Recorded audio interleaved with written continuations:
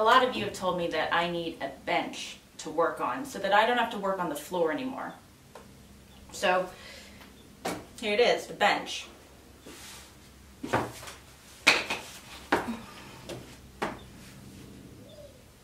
I don't really see the advantage.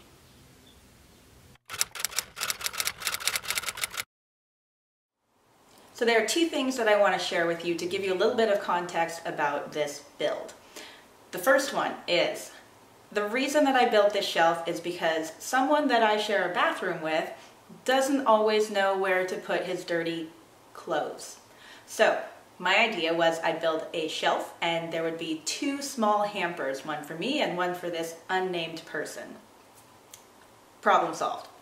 The second thing is I did my voiceover right after I got back from Workbench Con, so I have the voice of a frog. Enjoy! I helped Ben mill down some cedar 2x6s into 2x2.5s, and I used his leftovers to build this project. I cut 5 pieces at 23 inches, which is just enough space to fit in between the bathtub and the cabinets in my bathroom.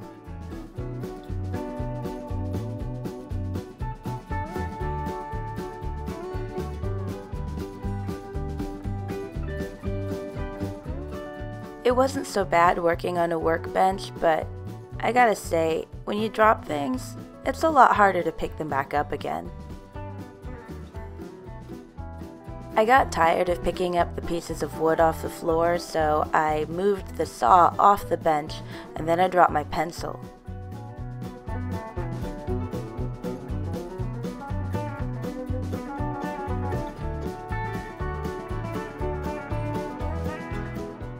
I measured and marked the cut lines for where the shelf would intersect with the legs. But then I realized that I marked it in the wrong place, so I remeasured and I remarked. And I got one line further before I realized that was also incorrect, so I flipped it around and started over.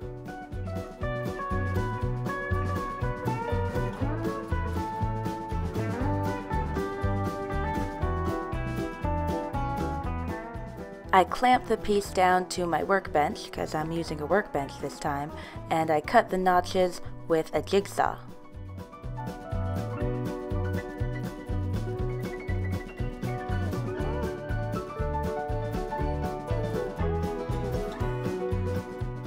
This is what it looks like from a little bit farther back.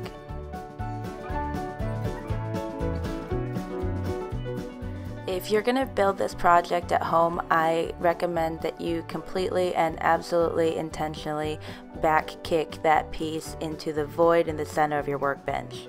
I find it really helps a lot.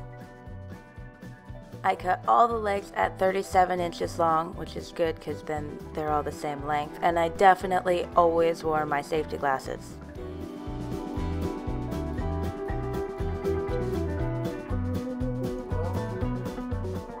I clamped all the pieces together so that when I cut the grooves that the shells would fit into, they would all be in alignment. I left 3 inches at the bottom for feet and I used a shelf piece to measure the width and the depth of my saw blade. I made two slow, careful cuts along each of the outer lines and then ran my saw through the center a few more times to make it easier to remove the waste. I used a hammer to break up all the smaller pieces, and as you can see, I was very careful and precise and didn't hit the legs at all.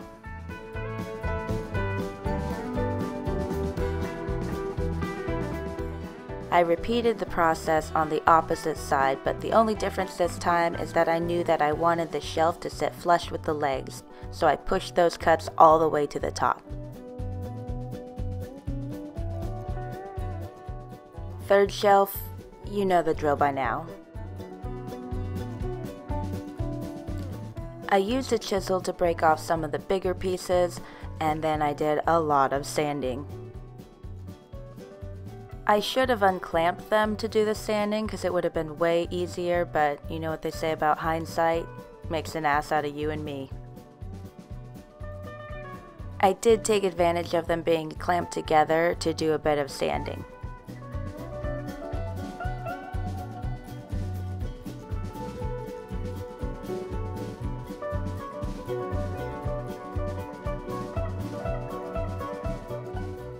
My first time doing a glue up like this, so I was kind of excited, but it turns out it's not really that exciting.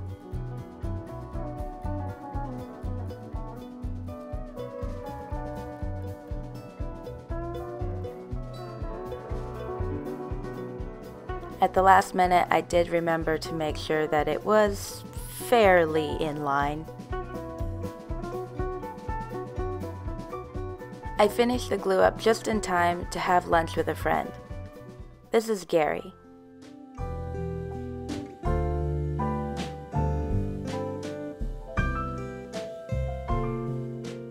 We were also joined by another friend. This is also Gary.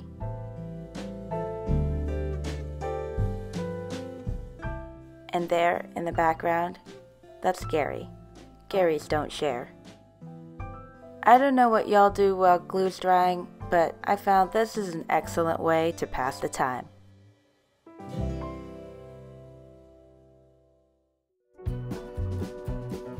I had made sure that I wiped up all the excess glue that was on the top of the piece, but I went back with a chisel after it had dried to scrape off all the drips that formed on the underside.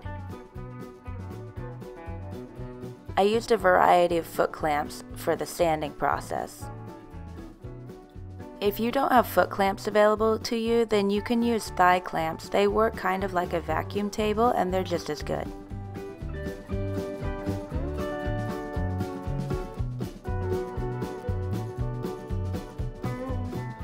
I was pleasantly surprised that some of the pieces went together pretty well, but there was still some sanding that had to be done.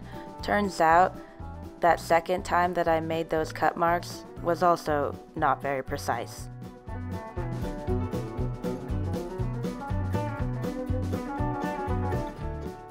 And now the moment of truth, the dry fit. As I was putting it all together, I was thinking about all the ways that it could have gone better. Things like using hardwood, using a table saw so the cuts are more precise, and just if I had been a better woodworker in general. But you know what? The truth is, it came together really well. The fits were so tight it didn't even need any nails or screws. I did decide to go back and reassemble it using glue because since the top shelf wasn't wedged in, it was a little bit loose and if I was going to glue the top, why not glue the whole thing?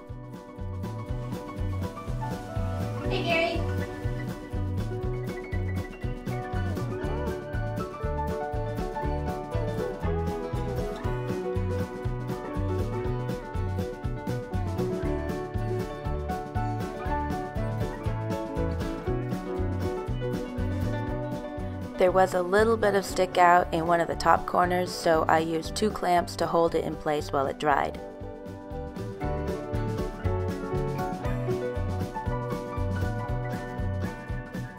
I then gave it an all-over sanding, not just to smooth it out, but to flush up all the bits that stuck out and hide all the mistakes I made. Well, some of the mistakes I made.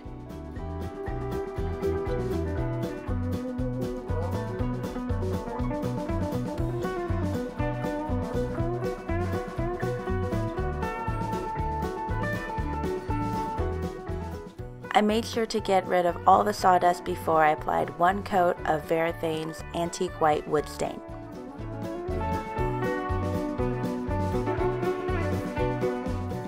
And in case you're wondering, that's Ben. That's my brother.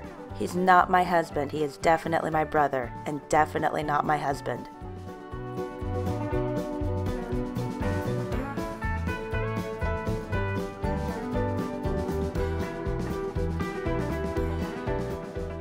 Once the stain had time to set, I wiped it off with a clean cloth. I also applied a finish, but you can't really see it on camera, so moving on.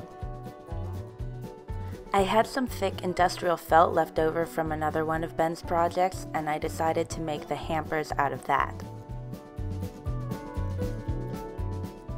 I cut out a large square that I would then cut in half to make the sides and the bottom of each of the hampers.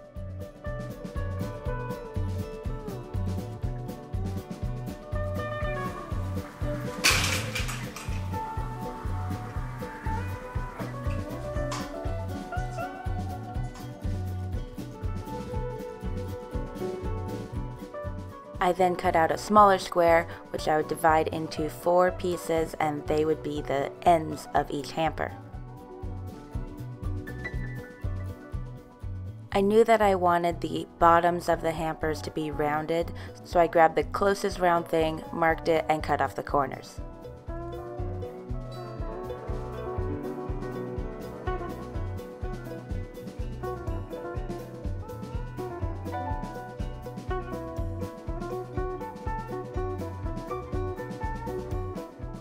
I centered the piece with the rounded corners and set up to sew it all together. This was my first time using a sewing awl, and so this was actually a 10 minute long clip condensed down to 10 seconds, and it's just me making the first stitch. But once I got the hang of it, it was actually pretty cool. It definitely beats hand sewing saddle stitches on felt.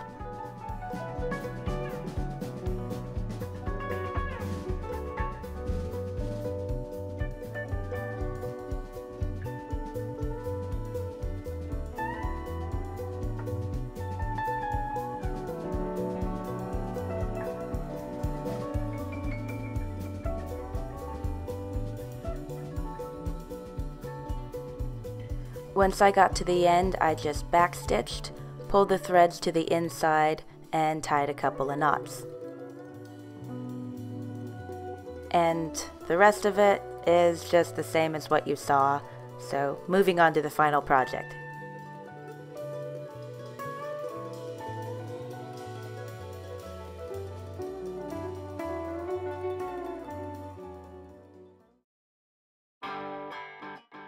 Considering my lack of experience, I think that this project turned out pretty good.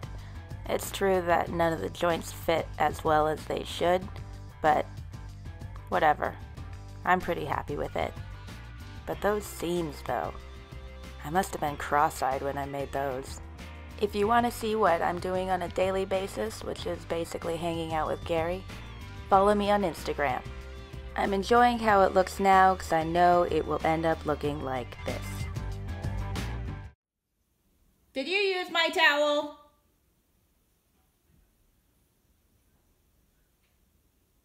Yeah. I didn't realize there weren't any towels. Let me, uh, let me give you a replacement towel.